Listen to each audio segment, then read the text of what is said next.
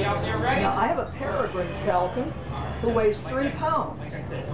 This bird weighs a little over four ounces. This is the smallest falcon that lives in the United States, which is one reason it's so vulnerable. This bird hunts small things. Some of you may know this bird by a different name, sparrowhawk. Oh, yeah.